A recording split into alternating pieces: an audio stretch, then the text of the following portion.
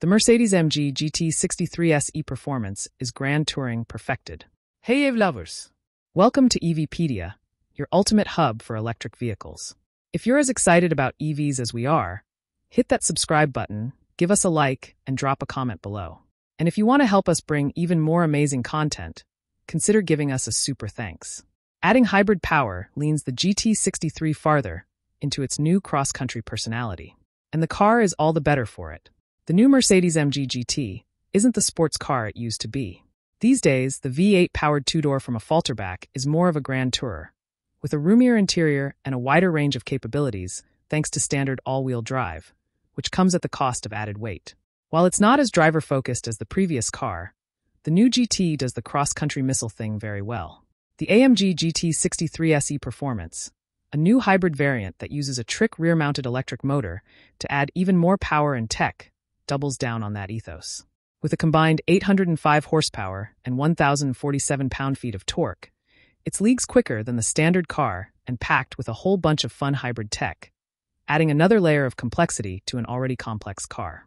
The car is equipped with a twin-turbo 4.0-liter V8 plug-in hybrid engine. It features a 9-speed automatic transmission. The engine produces 805 horsepower and 1,047 pound-feet of torque. The car can accelerate from 0 to 60 miles per hour in 2.7 seconds. The estimated base price is $216,000, while the as-tested price is estimated to be $235,000.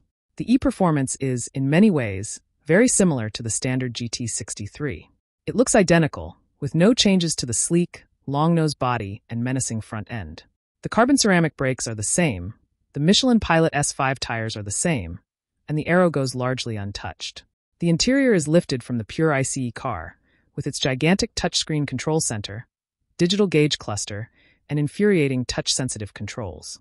If you want an in-depth explanation on why I hate controls like this, read my review of the GT63. In short, they feel like cost-cutting measures that are worse to use versus physical buttons and switchgear. All of the real changes happen beneath this AMG's skin.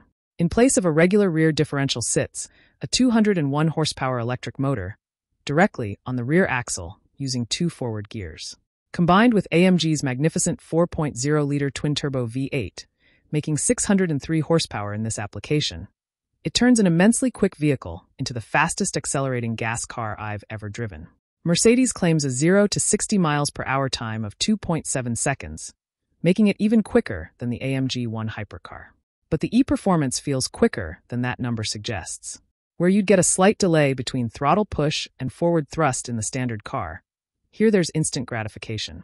Low-speed response is truly immediate thanks to the e-motor, like you'd find on something purely electric. The biggest surprise doesn't come at 60 miles per hour, though. It comes at 160. Pros, exceptionally stable at high speeds, packed with tech, fastest accelerating ICE car I've ever driven. With free rein of Germany's Autobahn, where there are no speed limits, I'm able to explore the e-Performance's explosive acceleration. That electric motor doesn't just help the car accelerate at low speeds. It helps everywhere. That same gut punch of electric shove you feel at normal speeds, you also feel it deep into triple digits.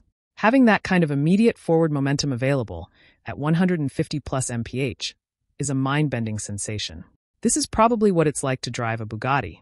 Top speed for the GT63e Performance is electronically limited to 199 miles per hour. That's just barely better than the normal GT63's top speed of 196 miles per hour. Don't let the numbers fool you, though. While I can see the normal car reaching true VMAX at its quoted top speed, this hybrid version feels like it can keep pulling past 215 if the limiter were removed. It took me relatively no time at all to reach an indicated 192 miles per hour on an empty stretch of German highway, the fastest I've ever driven a car anywhere. It was still pulling hard when I had to let off. You're paying for the way this car reaches these speeds in such a nonchalant, unfazed, and timely manner. While the powertrain feels seamless from behind the wheel, it's highly complex.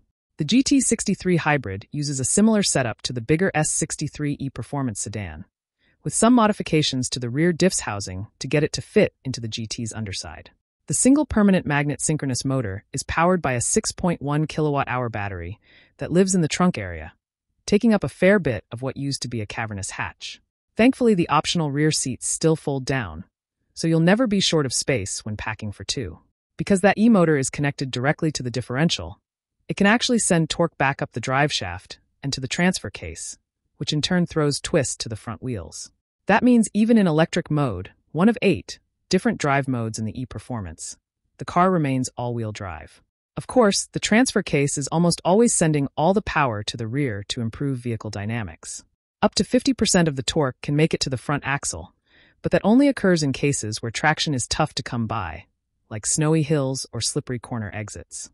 How that rear-mounted motor delivers its performance depends heavily on your selected drive mode. Keep the GT63 in a calmer mode like slippery or comfort, and the system will run the car on battery-only power when it can, only firing the V8 when there's demand for extra power, or to recharge using the belt-spun alternator generator. Throw it into sport or race mode, and the engine remains permanently online, constantly topping off the battery via the alternator. This way, you're never lacking for that instant thrust when you need it.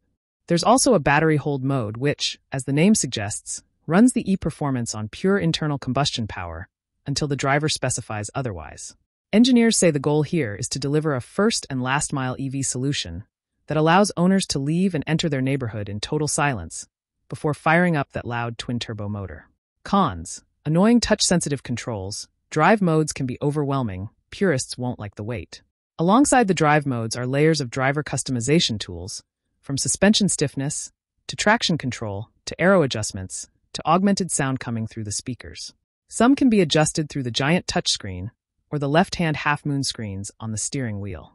Others, like the aggressiveness of the brake regen, are hidden inside the other screen on the steering wheel beyond the drive mode symbols.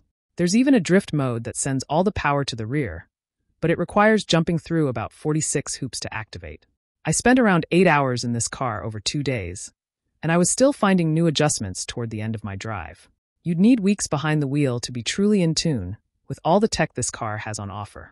For people who like this kind of stuff, you'll be entertained for months trying out all of the different combinations. The GT63 SE Performance is for the people who love technology and the engineering craftsmanship we have here at AMG, head product manager Matthias Schmidt told Motor1. They want to have the maximum power. That's the most important thing. This car is great for long distances, but still delivers very good cornering performance. For those more interested in a pure driving experience, you might want to look elsewhere. All this hybrid stuff adds 496 pounds to the GT63's already comically high curb weight, for a new grand total of 4,839 pounds. That's more than a double cab Toyota Tacoma. While the extra poundage is easy to feel, the e-performance isn't lacking in cornering speed.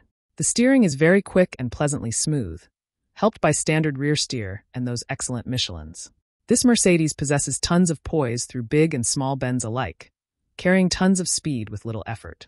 That's thanks in part to the standard AMG Active Ride, which forgoes traditional sway bars for a set of interconnected hydraulic lines that open and close depending on driving conditions, widening the range of damping for the uprights to deliver unprecedented performance for a car this heavy. There's also the improved weight distribution. Tobias Roll, head of product development for the SL and GT, told us the e-performance comes out to 5149 front to rear versus 5446 for the standard car because of all the rear-mounted hybrid equipment. It's tough to feel a difference in that balance without driving the two cars back to back, though, especially when both cars are already so heavy. You can have fun in this one, sure, but it'll never be as joyful around a corner as something with half the weight and a quarter of the power. Do that math, and you won't be surprised about which car fits those parameters. Corner carving isn't what GT63e performance buyers are looking for. Those customers will go for the GT63 Pro, a trim made specifically for track work sporting more cooling and aero. The person who buys an e-performance buys it because it's packed with the latest and greatest technological advancements you can find in a car, because it has seemingly unlimited amounts of customization available, and most importantly, because it has the biggest number on the spec sheet. That sheet will include the biggest price, too. While Mercedes has yet to release pricing, we expect the e-Performance to start at around $216,000, or about $30,000 more than the standard car. As an all-around sports car, the Porsche 911 Turbo S is probably a better choice. But for ultimate high-speed highway domination and long-range grand touring, there's nothing better on the market right now. Competitors are Aston Martin DB12, BMW M8, Maserati Gran Turismo, and Porsche 911 Turbo S. That's it for today's episode of EVpedia. If you had fun, subscribe, like, and share your thoughts in the comments. Don't forget to give us a super thanks to support our channel. Thanks for watching and stay charged. Until next time, keep it electric.